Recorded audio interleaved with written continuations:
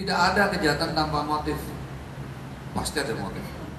Tim Progo Sakti Polda DIY mengamankan enam orang pemuda yang masih berstatus sebagai pelajar. Mereka ditangkap setelah melakukan penganiayaan terhadap salah seorang warga Jalan Kaliurang saat hendak mencari makan untuk sahur. Penganiayaan tersebut berawal ketika korban Medika, warga Jalan Kaliurang bersama sejumlah temannya hendak mencari makan sahur. Namun ketika sampai depan rumah sakit JIH dari belakang muncul rombongan orang dengan tiga sepeda motor.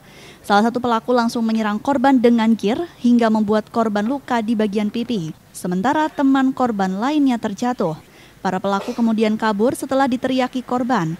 Berkat kejelian tim Progo Sakti, para pelaku penganiayaan tersebut berhasil ditangkap di tempat yang berbeda.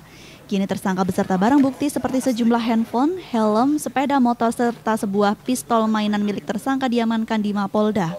Menurut Direskrimum Polda DIY Kombes Pol Hadi Utomo, tindakan yang dilakukan enam pelaku ini motifnya murni ingin melukai orang lain.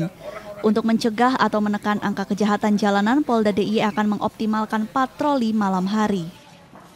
Yang dilakukan oleh Polda DIY terhadap uh, pelaku penganiayaan jadi LP-nya adalah tanggal 20 Mei 2018 pada hari Minggu, kejadian sekitar jam 3 pagi.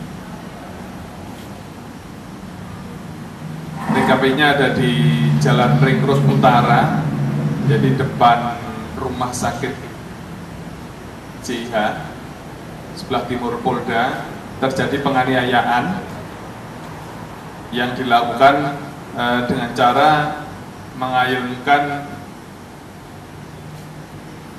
senjata sejenis gear yang diikat, gear yang diikat.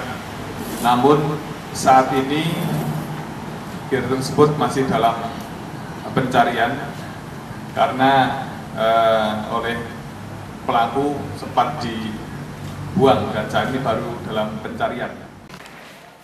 Subardi, Jogja TV.